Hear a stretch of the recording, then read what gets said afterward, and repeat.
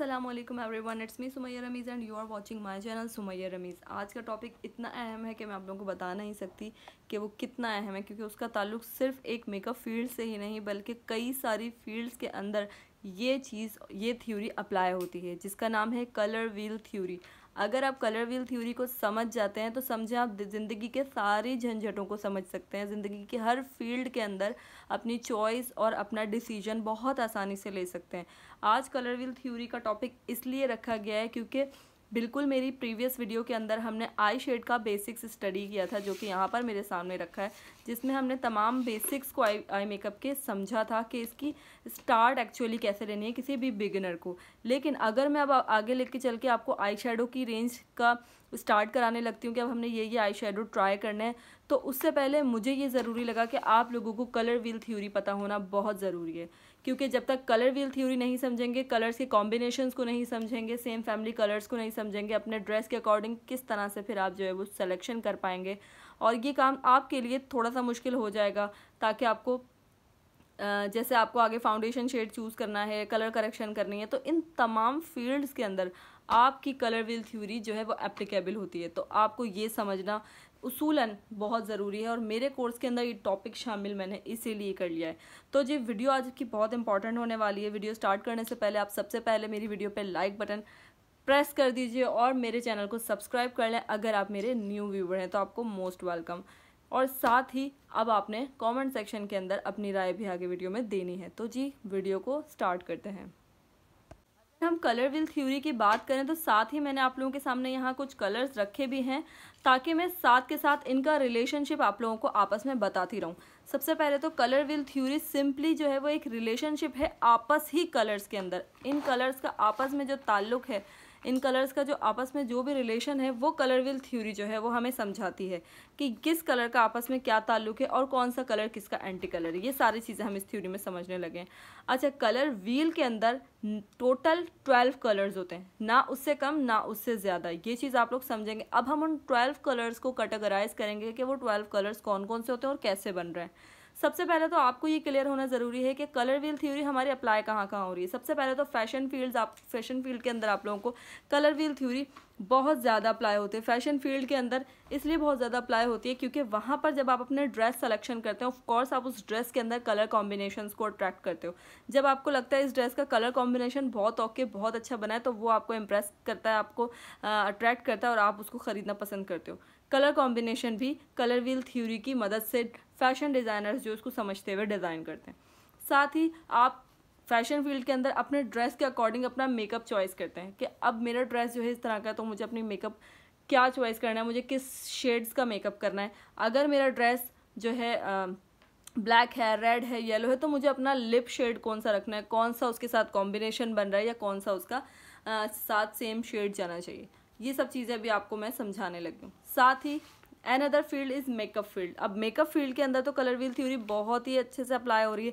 जब आपको अपना स्किन टोन समझना होता है तो आपको कलर व्हील थ्योरी से बहुत अच्छे से समझ आता है। स्किन टोन समझ जाते हैं तो आपको अपना फाउंडेशन लेने में आसानी होती है कि आपका स्किन टोन वार्म है क्या कूल है। तो आपका फाउंडेशन शेड कौन सा होना चाहिए?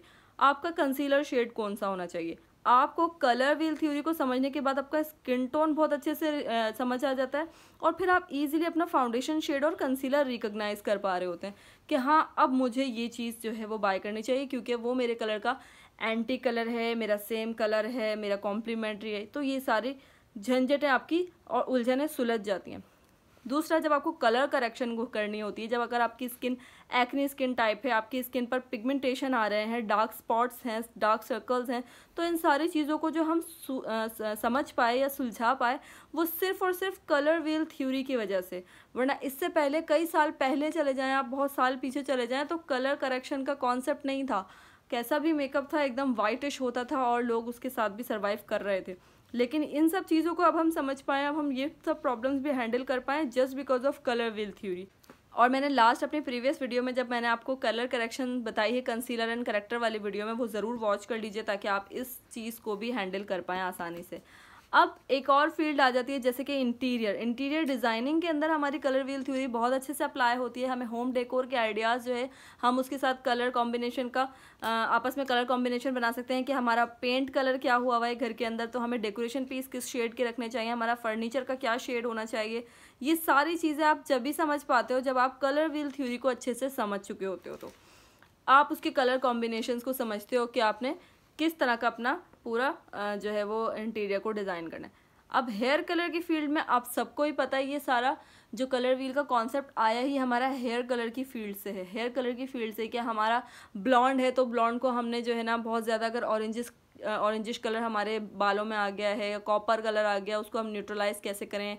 तो हमने वॉयलेट यूज़ करना है, क्या ब्लू यूज़ करना है? ये सारा जो कॉम्बिनेशन है ये सारी जो उलझने हैं, वो कलर व्हील थ्योरी ने सुलझा दी हैं और हेयर कलर की फ़ील्ड में हमारी कलर व्हील थ्योरी बहुत अच्छे से अप्लाई होती है। अब नेक्स्ट हम आ जाते हैं कि भाई ये कलर व्हील है क्या? ज़रा हमें इसका नज़ारा भी करवा दिया जाए। और काफ़ी लोगों ने ये इंटरनेट पर नज़ारा किया भी होगा कि कलर व्हील थ्योरी जगह जगह आपको नज़र आ रही है। और मैंने कुछ कलर व्हील थ्योरी के अकॉर्डिंग यहाँ पे है, यहाँ पे जो है पेंसिल कलर्स भी रखे ताकि मैं आपको इसके थ्रू आसानी से समझा सकूँ और इसी तरह मैं अपने आई पैलेट से भी आपको इसको समझाने लगी हूँ।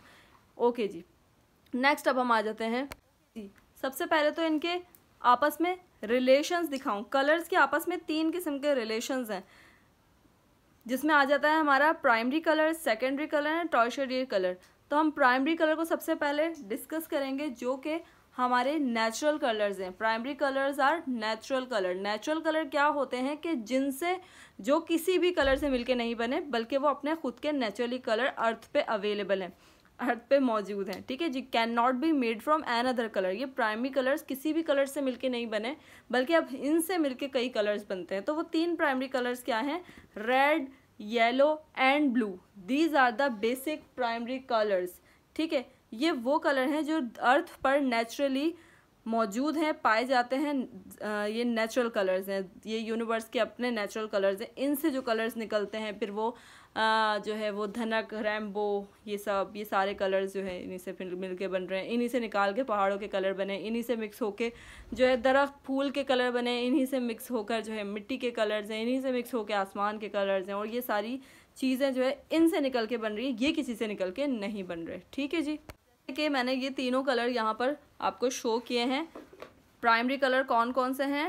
रेड येलो एंड ब्लू ये तीनों हमारे हो गए प्राइमरी कलर अब हम नेक्स्ट आ जाते हैं अपना सेकेंडरी कलर पर. सेकेंडरी कलर हम खुद बनाएँगे. अब आप बात करते हैं कि हमारे प्राइमरी कलर अब जब प्राइमरी कलर को हम मिक्सिंग स्टार्ट करते हैं, इनकी आपस में मिक्सिंग स्टार्ट करते हैं तो अब हम नया कलर डिज़ाइन करेंगे, ठीक है? फॉर एग्ज़ाम्पल मैंने रेड को अगर येलो के साथ मिक्स किया रेड को और येलो का हमने कॉम्बिनेशन बनाना है तो हमारा कौन सा कलर बनेगा। इसी तरह अगर ब्लू का हमने येलो के साथ कॉम्बिनेशन बनाना है तो कौन सा कलर बनेगा? इसी तरह अगर हमने ब्लू का रेड के साथ कॉम्बिनेशन बनाना है तो कौन सा कलर बनेगा? हम यहीं पर इसे एग्जामिन कर लेते हैं। हमने रेड को येलो के साथ मिक्स करना है, येलो को ब्लू के साथ मिक्स करना है और रेड को ब्लू के साथ मिक्स करना है। तो हमें यहाँ पे क्या मिलेगा? We will found our secondary colour चलें जी, आ जाए हम मिक्स करते हैं रेड और इसके साथ येलो तो हम देखते हैं हमारा किस किस्म का शेड तैयार हो गया। Now we have found our new colour which name is orange ठीक है जी, हमारा न्यू कलर बना जिसका नाम है ऑरेंज अब हम यहीं पर इन दोनों को मिक्स करते हैं। पहले तो मैंने यहाँ पे ले लिया है ब्लू कलर ठीक है? इसमें हमने मिक्स करना है अपना yellow colour and now we have found our green तो ये हमारा हो गया नया कलर इसका नाम है सेकेंडरी कलर अब हम यहीं पर अपना इन दोनों कलर्स को मिक्स कर लेते हैं और अपना नया कलर चेक करते हैं कि क्या आ रहा है। It out. Wow, we have find our purple color. आप लोगों को बज़ाहिर भी नज़र आ रहा होगा और पेंट कलर से या आई शेडो से ज़्यादा बेहतर तरीके से आप इसको देख पाएँगे। ये हमारा पर्पल कलर है।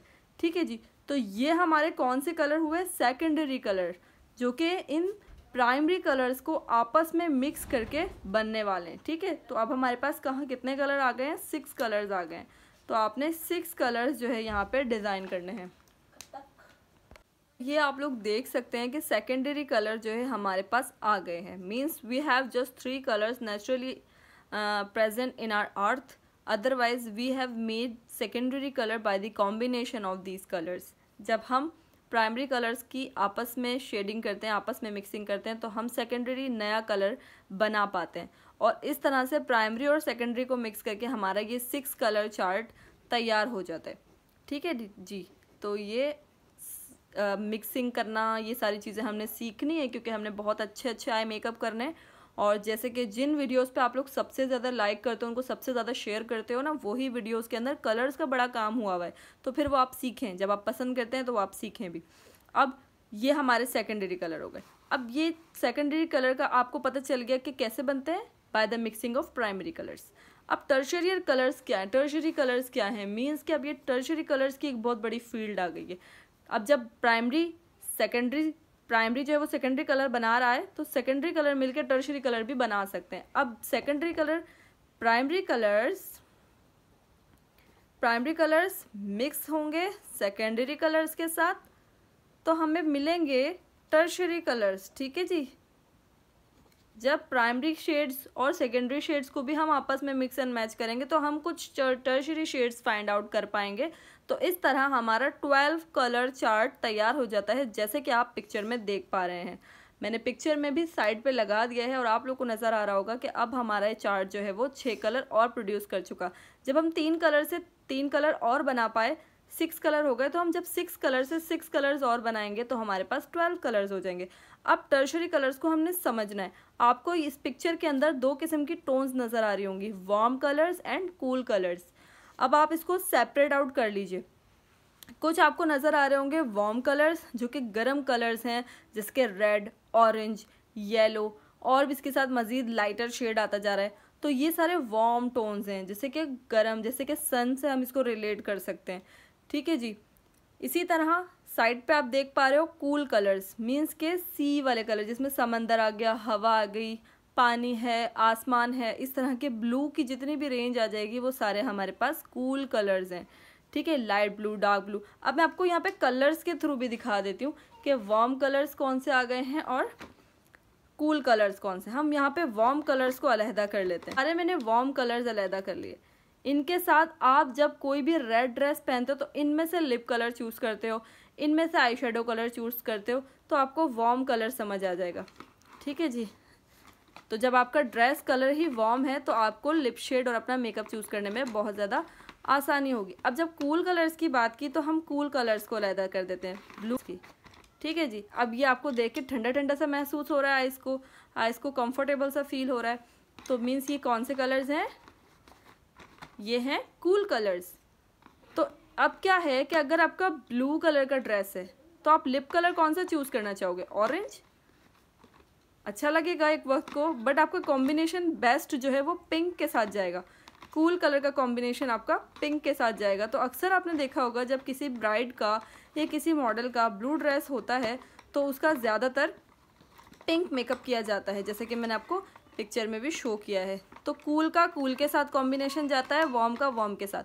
अब कुछ होते हैं हमारे पास न्यूट्रल कलर्स लाइक दिस ये न्यूट्रल कलर्स क्या है? ना ही वॉर्म है, ना ही कोल्ड ये अर्थ टोन कलर हैं, जो कि यहीं पे मैं दिखा देती हूँ। ये देखें। ये कुछ अर्थ टोन कलर हैं। ग्रे ब्लैक ये ये वाइट ये है न्यूट्रल कलर्स ठीक है? अब आप इसको गौर से देखें, ये न्यूट्रल कलर्स हैं। इन्हें, ये ना ही कूल है और ना ही वॉर्म है। ठीक है जी? तो यहाँ पर तो हमने यहाँ पे कलर्स की प्रॉपर्टी को समझा कलर्स की रिलेशंस को समझा। अब एनालोगस कलर्स क्या होते हैं और कॉम्प्लीमेंट्री कलर्स क्या होते हैं, ये आगे वीडियो में देखें। अच्छा जी तो हम एनालोगस कलर्स की बात कर रहे थे एनालोगस कलर्स सबसे पहले तो मैं यहाँ पर बात कर रही हूँ, अगर हम यहाँ टर्शरी कलर्स की बात कर रहे हैं तो बात होती है ट्वेल्व कलर्स की, जबकि यहाँ पर हमारे पास कितने कलर्स हैं? One two three four thirty six colours. इस पैक पर ही मैंशन है कि ये थर्टी सिक्स कलर्स हैं। तो भाई ये थर्टी सिक्स कलर्स हैं तो फिर ये कौन से कलर्स हुए? तो फिर ये हुए टिंट या फिर शेड या तो ये टिंट है या शेड है।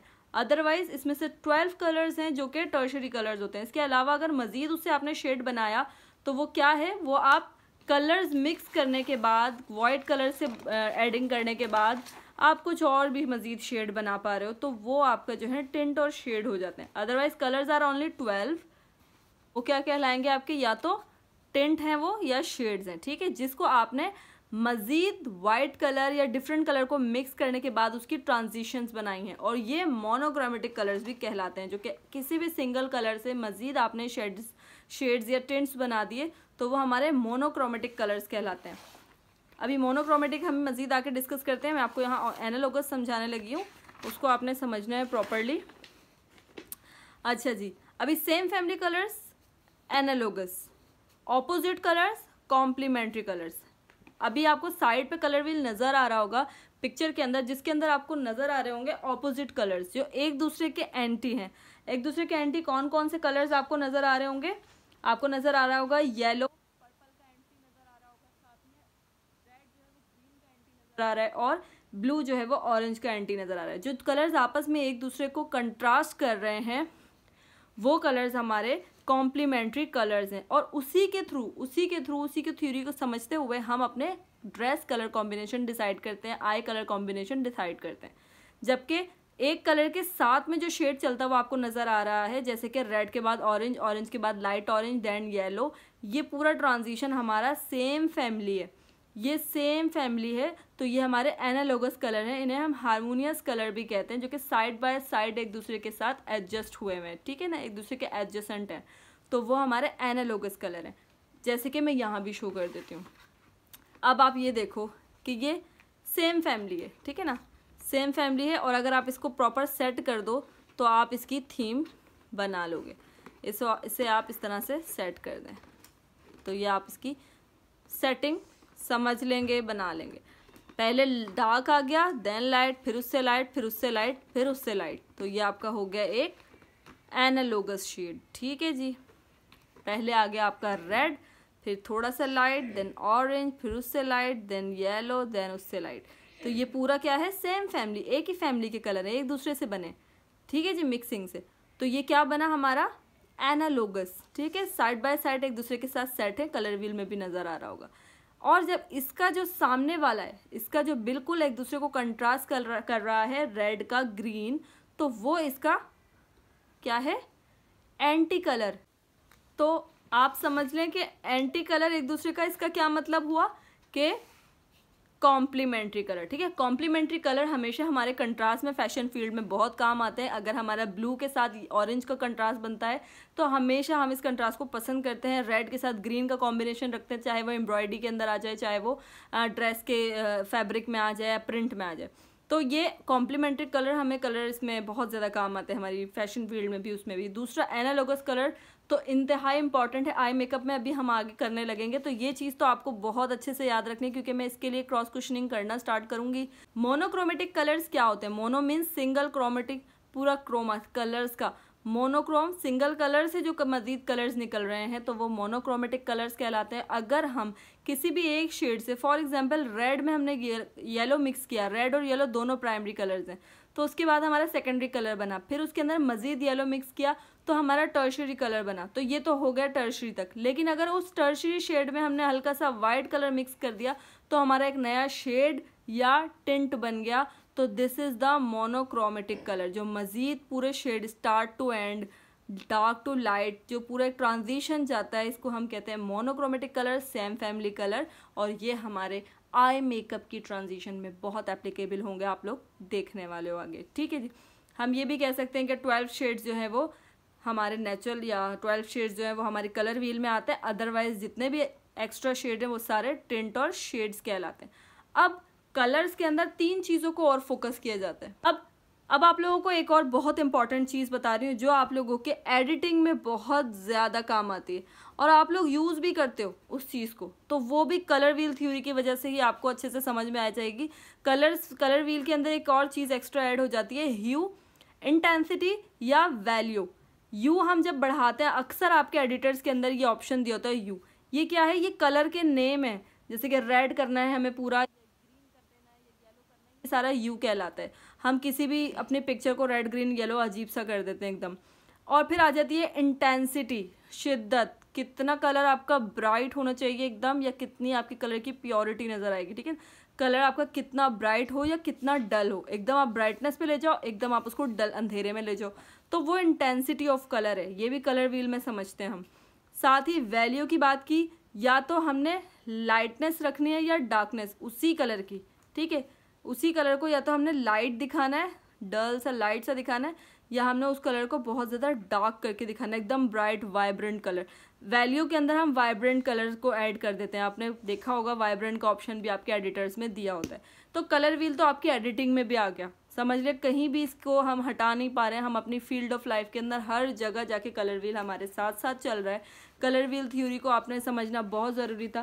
साथ ही मैं आप लोगों को अब वो शेड्स अपने आपके आई मेकअप की किट में भी यहाँ पर दिखा देती हूँ। ये देख पा रहे हो ट्रांजिशन बन गया हमारा डार्क टू लाइट अब ये क्या है? हमारे शेड्स हैं, ठीक है जी? डार्क टू लाइट ओके जी। डार्क टू लाइट ठीक है जी डार्क ग्रीन टू किस तरह इसका ट्रांजिशन आ गया? मिक्स एंड मैच करके डिफरेंट ग्रीन के डिफरेंट शेड्स बन गए हमारे पास। पर्पल के डिफरेंट शेड्स बन गए रेड के डिफरेंट शेड्स बन गए ब्राउन के डिफरेंट शेड्स बन गए। तो ये सब चीज़ें कोई भी पैलेट डिज़ाइन करने वाला कैसे कर पाया? कलर व्हील को समझते हुए उसने एक कलर से प्राइमरी कलर से मल्टीपल ट्रांजिशंस निकाले मोनोक्रोमेटिक कलर्स निकाले। ठीक है जी? तो जी नेक्स्ट वीडियो में आप लोगों को पेपर लेकर बैठना है कलर्स लेके बैठना है और मेरे साथ साथ ये वाली लुक्स ट्राई करनी है जिसमें हम इन कलर्स को कलर व्हील थ्योरी को समझते हुए इस्तेमाल करेंगे यूज़ करेंगे। तो नेक्स्ट जो क्लास है वो थोड़ी सी एक्साइटेड होने वाली है एक्साइटमेंट होगी आप लोगों को, उसको करते हुए मज़ा आने वाला है।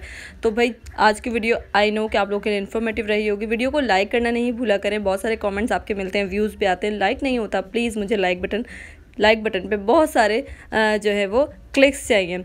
अपना बहुत सारा ख्याल रखें, मुझे दुआओं में याद रखें। इस वीडियो को शेयर भी किया कीजिए।